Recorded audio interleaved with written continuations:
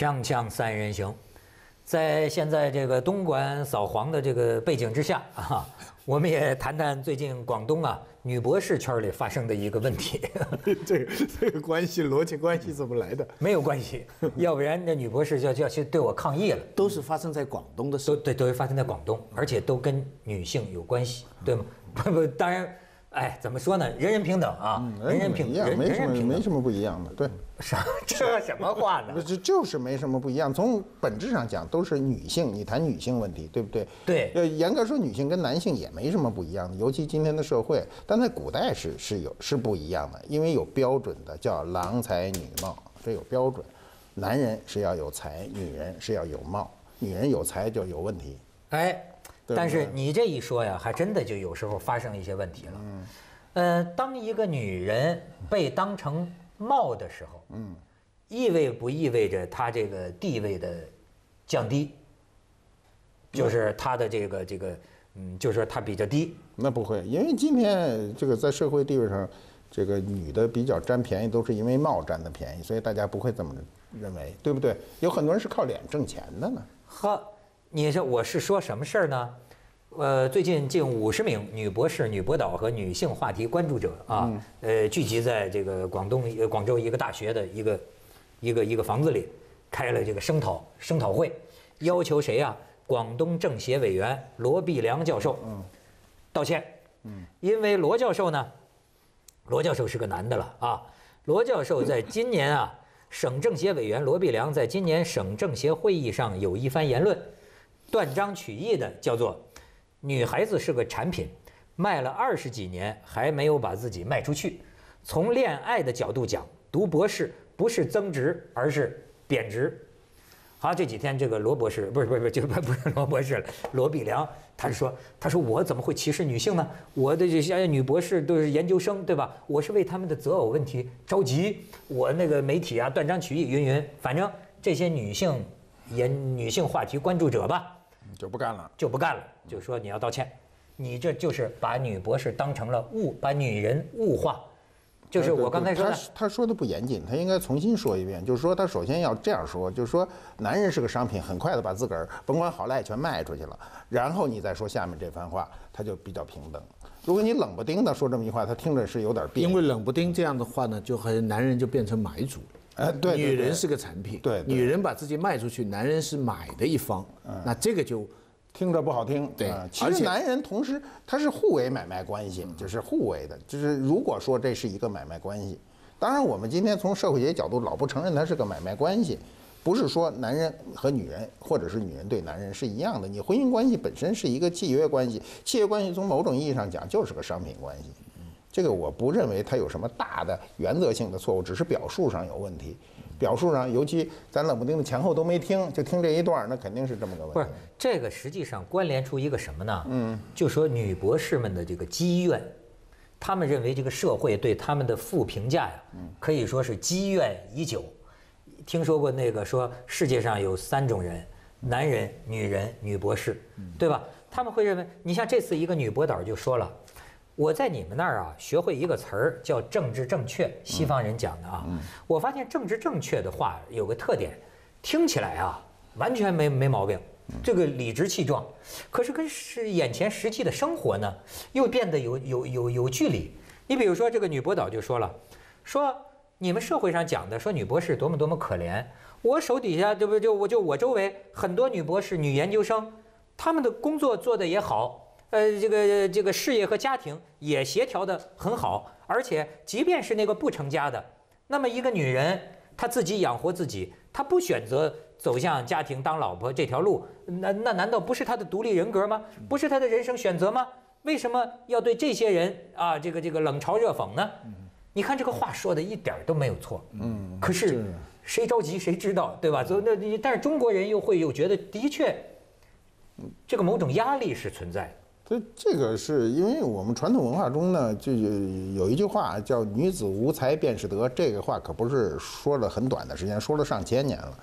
那为什么呢？是因为过去的社会就在那个生产力低下的时候，男人肯定是为主的。今天社会是向女性迅速倾斜的，能看得很清楚。比如，我们就说近十几年以来各国女性的领导人急剧增加，这在过去是不可想象的。过去你怎么能想象韩国那样的国家能让一个女性做成为总统？你写门儿都没有。他今天他就是总统，对吧？你像德国呀，这个美国呀，这很多国家的这种高等级的，你包括美美美美联储的，好像新主席是个女性，对不对？这在过去，你让美联储的新主席是个女性，那美国人他都不干。那今天这种倾斜呢，证明女性地位的提高，那么这女博士的问题就出来了。她这她是提高中的一个代价，因为它提高了，就换句话说，跟与之相配的东西得有提高，那相配的东西没有啊。对哎不对，你知道最近这个有一个网站婚恋的网站闹了个事儿，出来了一个广告，结果这个广告啊就犯了众怒。这广告大概这意思是说呀，好像是一个女孩的婆婆、外婆吧，怎么着盼着这个女孩啊催她结婚，催她结婚。然后下一个镜头呢，就变成这外婆反正是身患绝症，在床上打着点滴了。然后这女孩泪流满面，拉着这个未未未婚夫吧，说：“婆婆，我们结婚了，怎么着？”然后引起了众怒，就说：“你这是在引导什么？”以至于你知道，真的有些人因为这个广告啊，就春节没敢回家，因为呢，这个跟父母亲在他在在电视上播，这个父母亲老老一辈儿的，一看了这个广告，就跟他说：“你看看，你看看，我们老人家就是希望抱孙子啊，就是希望结婚呐、所以有有些人说说你这个网站，你搞的这是什么价值观？是吗？这套老棺材瓤子的这个价值观，我们受的这个逼婚的压力难道还不够吗？你们还要在这儿忽悠忽悠忽悠这些？但是他们对家庭的理解呢是比较比较传统啊，就是过就是一夫一妻的这种简单的理解。我想在未来的这个家庭构成中呢，单亲家庭会越来越多。我们说的单亲家庭不是那个离婚以后的单亲，就是我生就要单亲。现在美国很多嘛，就是我领一个孩子，甚至女性我自己生一个孩子。对借种，他有的都不是借，他跟谁借啊？他跟谁好，他就跟谁生一个。但是呢，我不跟你结婚，从一开始就说得很清楚，我独立生存。这种单亲家庭，在未来的社会中呢，这个数据我们现在不做统计，我也不研究，我也不知道，但是肯定是在增加的，而且增加速度超乎我们一般人的想象。我们是比较传统的，是要一夫一妻的。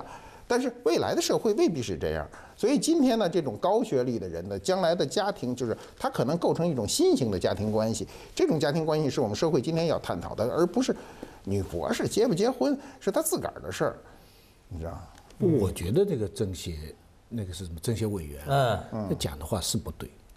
我这个这个在另外一某些国家的话，它不单是个道歉的问题，那怎么办？他连这个位置都成问题了。你要是你要是一个，比方说你现在是一个哈佛、耶鲁的校长，讲这样的话，或者是美国的一个议员讲这样的话，也挺惨的了，啊，你这个得罪受很大的社会压力了。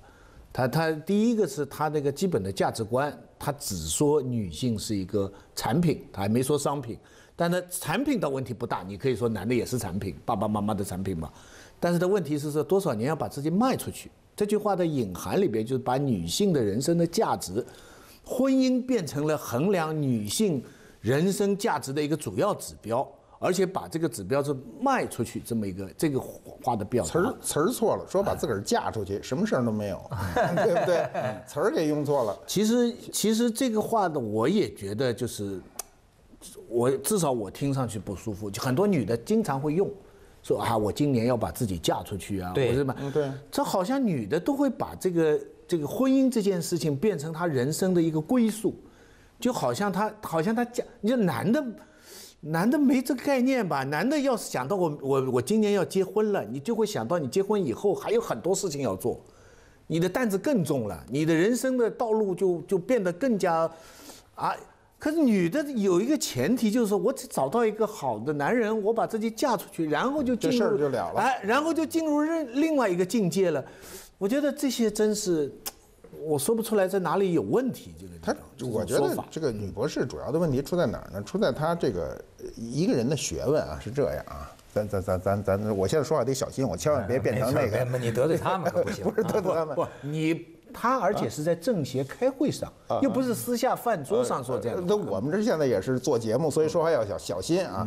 就是她女女博士啊，这博士的我们的概念是有相当的学识的积累，对不对？对，呃，当你学到过度的学问的时候，这学问有时候是过度的，我们学问中不用的部分都属于过度的，那么你就会变得呢，就是理性的东西多于感性的。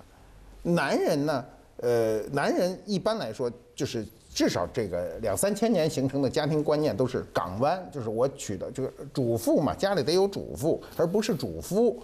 不是我回来给你做饭，是我回来应该是饭做好的。这个观念非常的古老而陈旧，我得先把我自个儿说死，要不然一会儿一会儿有人说你这多陈旧啊！我先自个儿说，就很陈旧的一个观念。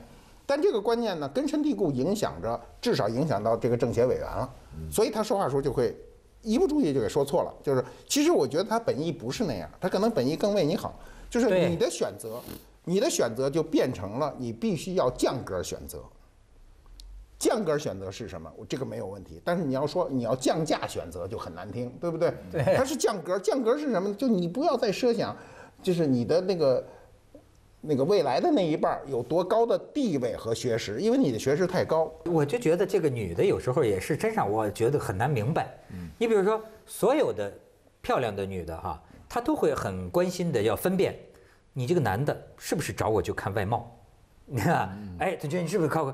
哎。我有时候觉得女的聊这个有什么意思？她当然是看外貌。你 你长得要不好看，她根本就不会对你有兴趣。老说这个就很没劲。但是呢，她恰恰她要女的。不希望这样啊他，不不她不希望你只是喜欢她外貌，因为因为外貌会变的。对，什么都会变。女女的最担心就是你今天我花开的时候你喜欢，明天我那样你就不喜欢。关键是还是个安全感，缺乏安全感才这么说。我我认为女的有点儿有点儿，这这这这，我也不敢说，广告，锵锵三人行，广告之后见。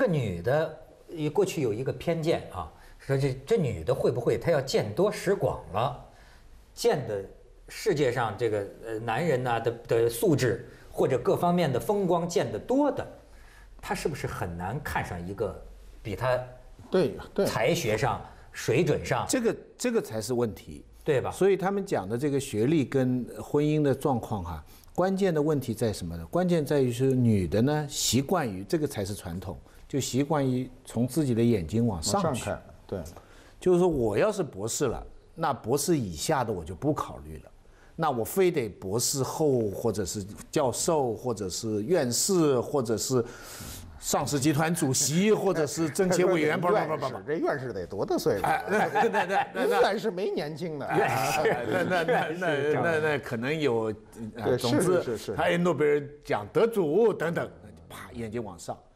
关键是不争气的，女的讲起来一句最不争气的就是讲男的，这男的的眼睛呢是平视了往下面去的，哎他，自己不管什么年龄，他下面二十来岁的他他对，男的还有一个救火能力非常强，就是什么意思呢？就是说，我忽然看这女孩很很漂亮，是吧？我就这一点，我放弃一切要求，对对，就救火这事儿了。这女的不成，女的她她得各个条件得都基本吻合，这事儿比较麻烦。嗯，啊，男人的这个还有的男人，他就我认识的人里啊，就是朋友里真有这样的人，就不喜欢太有文化的女性，觉得女性她虽然很有文化、很有地位，但是她不太喜欢这种，她觉得回家再弄一个人跟他掰扯去，他就受不了我就这样，你就 这是是吧？这就简单很好。对对对，我就觉得你比如说这个红颜知己，非常好哈，咱棋逢对手，将遇良才，对吧？可是聊聊就行了。对对对你说因为我觉得我每天吃饭的时候跟你讲海德格尔，你受不了是吧？我不能还有从早到一个就是晚都那么聪明，还对你知道吗？还有一个就是，呃，男性最害怕的是女性过于敏感，就是他什么都特敏感，弄得你就不舒服。因为你比如哪句话没说对付，或者说你在外头有点什么事儿哈，其实也没多大的事儿，但是回来还没怎么着呢，被人给一下给给给揭露了，你就觉得很不舒服。所以他还是希望一些比较迟钝的。呃，过为什么？不是这迟钝不是不聪明，他有人很聪明，但是在某种问题上很迟钝，大智若愚啊对，他就很多人很广东话喜欢叫板哎锁，我们的学生都知道哎，也不是真锁，不是真傻，但是要装傻。很多女的都是这样的啦。是啊我我我生活中啊碰到的人哈、女性凡是活得好的，大部分都是这类的，就是大大咧咧，哎，越是计较的人，越不得好，越是那个平时大大咧咧，哎，婚姻状况也很好，就是她反而家里不会出现大问题。凡是那计较的，就是丈夫有一言一行都都都记录在案的，这个就是一说，呃，提起三年前的事儿都算近的，一提都是八年前的各种事情，说得很清楚的，受不了这就受不了啊。再说你如果说一个行业，原来那时候我我我小时候哈、我就看，因为我在医院长大，就看医生和医生结婚，然后我就听长辈儿们说说这都没好，就是医生至少要跟护士结婚，或者医生跟别人结婚，就最好他什么意思呢？他就说你最好不是一个专业的人，同一专业的人。可我们过去说居里和居里夫人都要一个专业，能探讨问题，被窝里还能说核物理，这谁受得了？那家伙是不是这意思？但是你的你的这个社会的宣传和这个呃这个这个这个趋势都是说，最好大家有共同的呃愿望、共同的学识、共同的怎么一块儿往前走。对对对其实这是一最瞎的事儿，对，是不是个最瞎的事儿？一定是。你比如说要都是画家，两口子互相还不服呢你嘛 画家还好点儿，尤其是一个行业的。原来我那时候不刚才说医生嘛，那医生互相就是都是医院，都是医生主治大夫，互相说说他那个技术，嘿，有人让他扎针灸呢，他那针我都不敢让他往我身上扎，就是互相看不上，也有互相特知理也有成功的。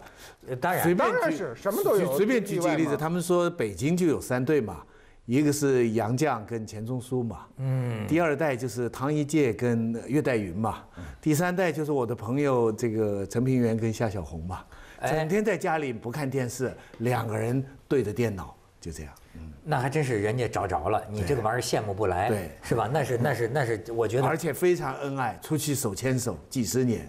没错啊而且你像杨杨绛那种，那都到什么程度？就是仙成仙了。对对那家伙每天拿那个黑木耳炖那个大骨头汤啊，就是这个养 养自己，就是我一定要活过我老公。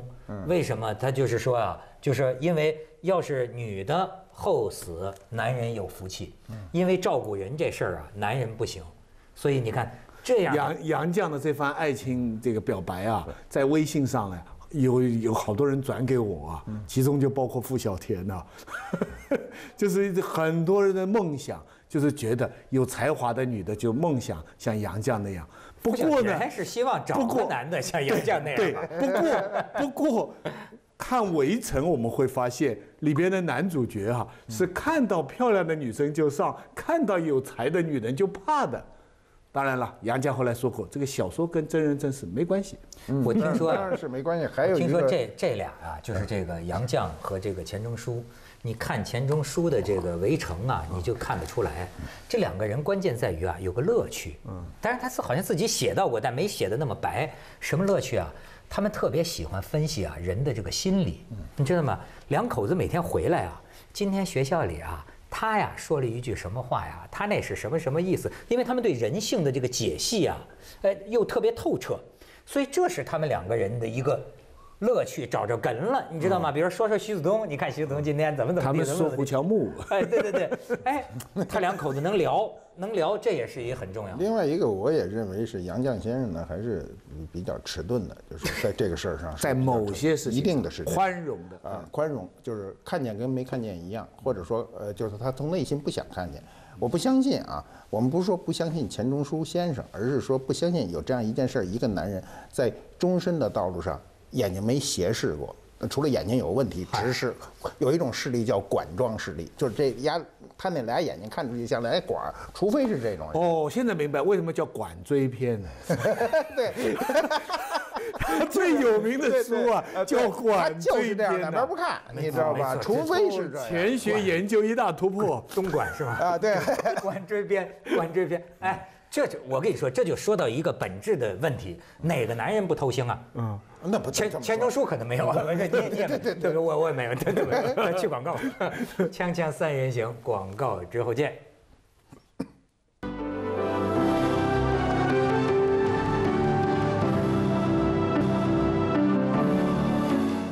那呃，马先生，我代表女性跟你提这么一问题，就像你刚才说的，好好好。哎，为什么你们男的不能说这套嗑呢？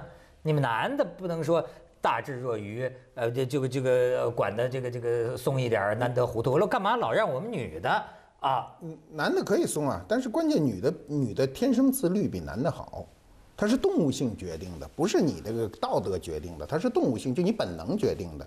你比如说刚才说钱钟书先生的小说里，你从他的那么细致的描写，他不可能心里没有感受的。他他凭凭他凭他那想象给你写这小说，他一定有过这种感受，就是出轨的这种感受。哦，他才能写出这样的小说。看到包小姐我说的是他精神上的这种出轨。精我们肉肉体上的事儿，我呃，也许在作品里宣泄了，在现实的肉身当中就非常纯洁了，对对吧？那 然后你的问题呢，我替他回答，嗯就是说男人呢，其实也一定要学会大智若愚，也学会糊涂，学会宽容，但多数是在工作场合，因为这是他主要的生存场合。所以，女的如果在这方面做得很好，就是她把婚姻当做她主要的生存场合。嗯那我代表所以这个才是那那我代表。我们女性再反对你一个问题：凭什么你就认为我们女的只能把家庭当成我们的的事业？这正是要反对的。对啊，对，我所以你你只要女的不把家庭当做你主要的事业，那其他那些问题就不。所以我们处在这个时代，就是女性地位急剧提高的时代。刚才我们说了，领导人就是女的了，对那么她们都冲杀出来了。你看那些成为女性的领导人，嗯，哪个是家庭特别圆满的？朴槿惠吗？孤身一人是吧？你看看那个，但但是在孤身一人，不能说他家庭不圆满。我觉得这个还是我们保持了一我个概念，就不能说有婚姻才是生活的圆呃，满。对，是是是是，我们我觉得传统吴仪说法生活的很好嘛。啊，对，对不对我们按照传统的观念说，一夫一妻制的组成一个家庭，但是这些标志性的女性，她都很难做到这一点。嗯，对这是一个社会急剧变化。我想过一百年以后探讨的问题，全是我们怎么所以怎么被别人抛弃的问题了。一切个人问题都是社会问题。对，这就是前两天我跟我一朋友聊，我说你说现在离婚的人啊，呃到底对孩子好不好？他就说啊，如果一个社会有一半儿的孩子都是这种单亲家庭的孩子那就不错，那么这个孩子就没有那么悲剧了。没有所以这是个社会问题，对吧？我现在有那个有这个接下来为您播出《文明启示录》。说你少好多管束。少一个人管，对对对，而且还多一份溺爱，因为往往是单亲的